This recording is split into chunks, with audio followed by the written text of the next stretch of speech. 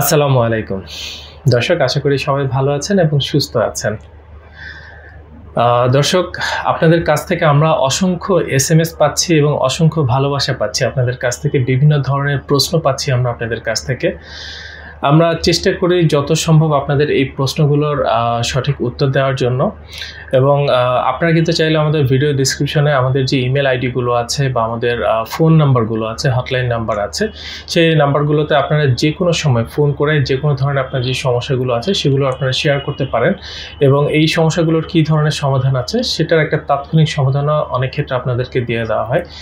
এবং আমাদের ভিডিও ডিসক্রিপশনে আমাদের অসংখ্য কিছু ভিডিও আছে। যেটা ডক্টর মোহাম্মদ শফিউল প্রধান স্যারের অসংখ্য ভিডিও আছে। যে ভিডিওগুলোতে অনেক ধরনের ব্যথা বা ব্যথা রিলেটেড অনেক ধরনের ব্যায়াম আছে, কিছু ট্রিটমেন্ট দেওয়া আছে। আপনারা যারা এই ধরনের সমস্যাগুলোতে ভুগছেন দীর্ঘদিন যাবৎ, তারা এই ভিডিওগুলো ফলো করতে পারেন। সেক্ষেত্রে আশা করি আপনারা অনেকেই ফলপ্রসূ অনেক ধরনের আপনাদের যে অ্যাক্টিভিটিসগুলো আছে, সেগুলো আপনারা পেয়ে যাবেন। দর্শক, আজকে আমাদের সাথে এখানে উপস্থিত আছেন আমাদের একজন ভাই যিনি দীর্ঘদিন যাবৎ উনি পিএলআইডি রোগে উনি ভুগছিলেন। এবং পরবর্তীতে উনি ডক্টর মোহাম্মদ শফিল প্রধান স্যারের কাছে উনি ট্রিটমেন্ট নেন এবং ট্রিটমেন্ট নিয়ে কেমন আছেন? আমি বলব না ওনার কাছ থেকে আজকে শুনব। আসুন দর্শক তার আগে একটু ওনার সাথে একটু পরিচিত হয়নি আসসালামু আলাইকুম। ওয়ালাইকুম আসসালাম। স্যার আপনার নামটা একটু বলেন। মোহাম্মদ সোহেল রানা। সোহেল রানা কোথায় থাকেন আপনি? আমি বর্তমানে রামপুরায় থাকি। রামপুরায় থাকেন। এমনি দেশের বাড়ি কোথায়? দেশের বাড়ি কুড়িগ্রাম। কুড়িগ্রাম। কুড়িগ্রামে কোথায়? কুড়িগ্রাম চিলমারি উপজেলা। চিলমারি উপজেলা। আমরা জানি যে আপনি ডক্টর মোহাম্মদ শফিলা প্রধান স্যারের কাছে এসেছিলেন ট্রিটমেন্টের জন্য। কি হয়েছিল এবং এটা ঠিক কতদিন আগে প্রথম শুরু হয় মনে হয় আমার? এটা দুই আড়াই বছর আগে মানে প্রথম ব্যথাটা একটু অনুভূত হয়। হুম হুম। কোনো পড়াশোনার- accident বা কিছু চাপে পড়াশোনার চাপে চাকরির জন্য পড়াশোনার চাপ যখন পনেরো ষোলো ঘণ্টা পড়াশোনা করছি। এই তো ব্যথাটা সৃষ্টি হয়েছিল। আচ্ছা মানে তার আগে আপনি সুস্থ ছিলেন হ্যাঁ যখন আপনি বিভিন্ন ধরনের এক্সাম বা সেগুলোর জন্য বা আপনার চাকরির জন্য যখন আপনি চেষ্টা করছেন তখন পনেরো ষোলো ঘণ্টা আপনাকে একটানা বসে পড়েছিলেন। তখন আপনি প্রথম বুঝতে পারেন যে আপনার কোমরে ব্যথা শুরু হয়েছে। আর তখন ব্যথার ওষুধ দুই একদিন খাইছিলাম তো দেখা যায় ব্যথাটা একটু কমে। আচ্ছা। আবার যখন ব্যথাটা একটু হালকা বাড়লো তখন গ্রাম্য ধরুন ওখানে রামপুরায় কিছু এমবিবিএস ডাক্তার আছে দোকানে বসে। ওনাদের কাছে গেলাম উনি বলল যে কোনো সমস্যা নেই ওষুধ খান ঠিক হয়ে যাবে। আচ্ছা ওষুধ লাইফস্টাইল চেঞ্জ বা এই ধরনের কোনো কিছু আপনাকে সাজেস্ট করেছিলেন? যে একটু ওজনটা কমাতে বলছে। যে ওজনটা একটু বাড়ছে ওজনটা একটু কমান আর ঠিক হয়ে যাবে। আচ্ছা। আমি ওষুধ খাইছি দেখা যায় যে মোটামুটি একটু ভালো থাকি। আবার ওই পড়াশোনা তো করতেইছি। পরবর্তীতে যখন মেজর হলো যে না ব্যথাটা একটু বাড়ছে তখন অনেক চেঞ্জ করে দেখা গেল যে বড় বড় ডাক্তারের কাছে গেছিলাম। আচ্ছা মানে প্রবলেমটা কি ধীরে ধীরে খারাপের দিকে যাচ্ছিল? হ্যাঁ, দেখা যাচ্ছে যে আগে দীর্ঘ সময় বসে থাকলে ব্যথাটা করা শুরু করতে এখন অল্প একটু বসে থাকলে হ্যাঁ, ব্যথাটা আস্তে আস্তে আস্তে আস্তে আস্তে মানে উন্নতি মানে ব্যথাটা এমন কি হতো যে আপনার আহ, শুধু বসে থাকলে ব্যথাটা হচ্ছে নাকি হাঁটা চলা করছেন বা দৈনন্দিন যে কাজগুলো করছেন তখন এই ব্যথাটা বাড়ছে? হাঁটা চলা করতো না। যদি আমি অনেকক্ষণ দাঁড়াও থাকতাম তাহলে ব্যথাটা বাড়তো। আবার অনেকক্ষণ বসে থাকলেও ব্যথাটা বাড়ত আচ্ছা। তো এরকম করে বড় বড় ডাক্তারগুলো দেখালাম। আচ্ছা যখন প্রথম কোনো একজন বড় ডক্টরের কাছে গেলেন উনি কি কোনো পরীক্ষা নিরীক্ষা বা কোনো কিছু করে হ্যাঁ পরীক্ষা দিছিল এমআরআই করছিল। আচ্ছা। প্রথম আমার ধরা পড়ে হলো L five S one sacralization বুঝতে পেরেছি। প্রথম। হুম হুম। স্যাকালাইজেশন ধরা পড়ছে উনি ট্রিটমেন্ট দিল। দেখা যায় ব্যথা ভালো হয় না। আচ্ছা। ব্যথা চলে। তো উনি ব্যায়াম করালো। কিছু ওইখানে ব্যায়াম করালো। ব্যায়ামও করলাম থেরাপিও দিলাম। কিন্তু কোনো উপকার কোনো উপকার পাচ্ছি না। আচ্ছা। এভাবে এক সময় ডাক্তার দেখাতে দেখাতে আশায় ছেড়ে দিছিলাম যে না আর সম্ভব মানে কন্টিনিউয়াসলি যে জীবনের একটা অংশ হয়ে গেছে ব্যথাটা। ব্যথাটা। আমি এইভাবে গত এক বছর কোনো ডাক্তার দেখেনি মানে রাগে। একরকম প্রায় আশা ছেড়ে দিয়েছেন হ্যাঁ। এত ডাক্তার দেখাচ্ছে এত টাকা খরচ করছে হ্যাঁ, ওষুধ খাচ্ছি কিন্তু ভালো হচ্ছে না। মানে আর আগে দেখাই নাই। বাসা থেকেও বলে। পরবর্তী লাস্ট যখন আজ থেকে সতেরো আঠারো দিন আগে যখন আমি এখানে আসি হুম হুম হুম। স্যারের ভিডিওগুলো দেখি। মনে করতেছি যে এখানে আসলে মনে হয়তো আমার কিছু হতে পারে। আমি কিন্তু ইন্ডিয়ার যাওয়ার জন্য কিন্তু preparation প্রিপারেশন নিয়েছি। যে আমি চলে যাব ইন্ডিয়াই যাব একমাত্র। টাকা পয়সা করে। তো এখন এই কই না এখানে একটু দেখাই যাই। লাস্ট আমার সতেরো আঠারো দিন আগে আমি যদি শুয়ে থাকতাম বা বসে থাকতাম ওটার সাথে সাথে আমার কিছুক্ষণ ভাজ হয়ে থাকা লাগতো। সোজা স্টেট মানে হতে সোজা হতে পারতেন না একদম কিছু বাঁকা থেকে ধীরে ধীরে ধীরে ধীরে আস্তে আস্তে বা পা ফেলতে লাগতো। আচ্ছা।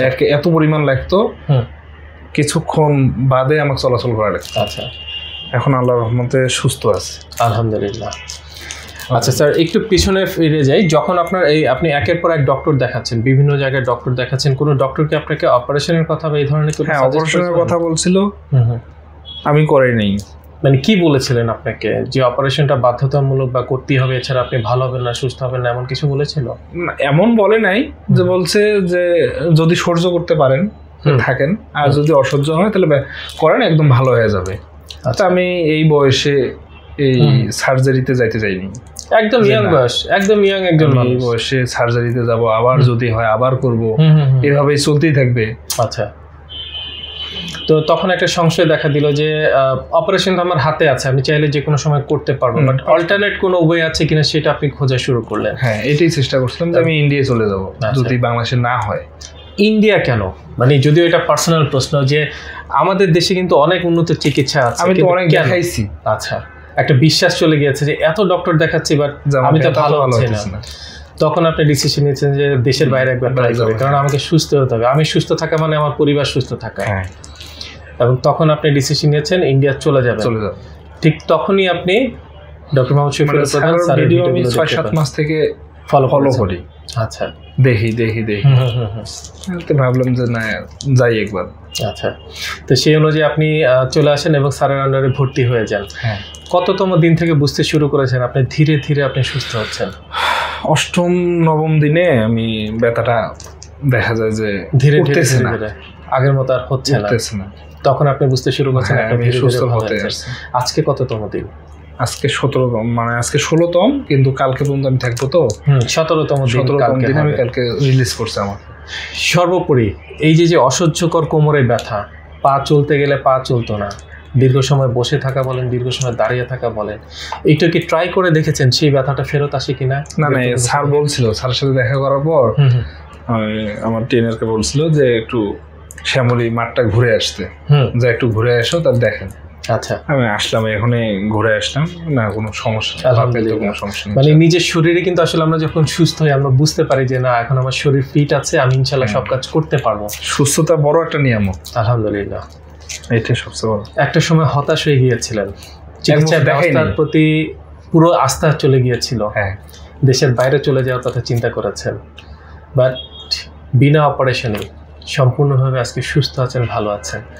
অসংখ্য মানুষ আছেন হয়তো এই মুহূর্তে ক্যামেরার ওই পাশে আপনাকে দেখছে। তাদের জন্য যদি কিছু বলেন। তাদের জন্য একটাই যদি আপনাদের কোনো সমস্যা থাকে নির্দ্বিধায় স্যারের কাছে চলে আসতে পারেন। ইনশাল্লাহ সুস্থ হবেন। আমার মতো আমি এত সমস্যায় ছিলাম যে বলার মতো না। পা ফেলতে পারতাম না। আজকে সতেরো দিন ষোলো দিনের মাথায় ইনশাল্লাহ আমি অনেক সুস্থ আছি। আলহামদুলিল্লাহ। দর্শক, আমার এই ভাই কিছুক্ষণ আগে যে কথাটা বলেছেন যে উনি ইন্ডিয়া যেতে চেয়েছেন, আমাদের কাছে আলহামদুলিল্লাহ এরকম অসংখ্য পেশেন্ট আছেন যারা ইন্ডিয়া থেকে আসেন, ইন্ডিয়ার মানুষ। কিছুক্ষণ আগে আমার সাথে একজনের কথা হয়েছে এবং তাদেরও কথা ছিল যে, মানুষ বাংলাদেশ থেকে আসে আমাদের কাছে, আপনি কেন যাচ্ছেন? তাদের একটাই কথা, উন্নত চিকিৎসার জন্য। যে চিকিৎসা আমি ইন্ডিয়াতে পাইনি, সেই চিকিৎসার জন্য আমি বাংলাদেশে যাচ্ছি। এবং আমাদের দেশে ইন্ডিয়া বলেন এবং এশিয়ার বিভিন্ন জায়গা থেকে এরকম অনেক পেশেন্ট আসেন। শুধু ভাষাগত কিছু কারণে তাদেরকে আমরা নিয়ে আসতে পারি না, কারণ তারা হয়তো তাদের ভাষায় কথা বলেন যেটা হয়তো আপনারা হয়তো বুঝবেন না সেটার কারণে বাট এরকম অসংখ্য পেশেন্ট আছেন যারা এই মুহূর্তে বাংলাদেশে আসেন শুধুমাত্র ডক্টর মোহাম্মদ শফিউল্লাহ প্রধান স্যারের চিকিৎসা নেওয়ার জন্য এবং তারা সুস্থ হয়ে আবার তারা ফেরত যাচ্ছেন। তাহলে আমরা দেশের মানুষটা কেন যাব?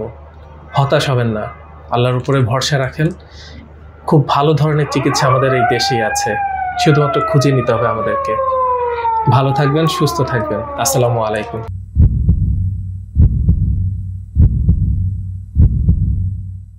দীর্ঘজীবী হওয়ার প্রথম পদক্ষেপই হচ্ছে সুস্বাস্থ্য নিশ্চিত করা।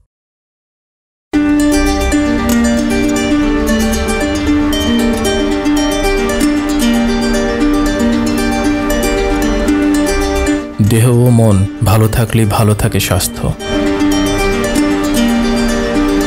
আমাদের রয়েছে আধুনিক যন্ত্রপাতি। সঠিক ও স্ট্যান্ডার্ড মানের প্যাথোলজি পরীক্ষার নিশ্চয়তা। আমরা রোগীদের প্রতি খুবই যত্নশীল ও আন্তরিক।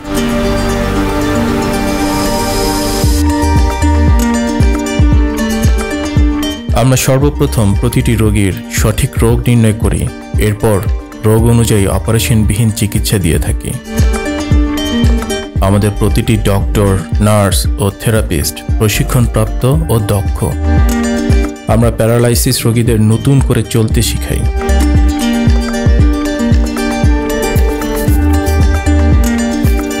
আমরা আপনাকে সর্বোচ্চ মানসম্মত আধুনিক চিকিৎসা সেবা প্রদানের নিশ্চয়তা দিচ্ছি।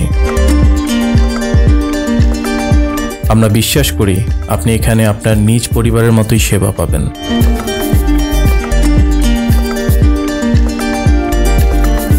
বাত ব্যথা প্যারালাইসিস ও আর্থ্রাইটিসের একটি নির্ভরযোগ্য প্রতিষ্ঠান।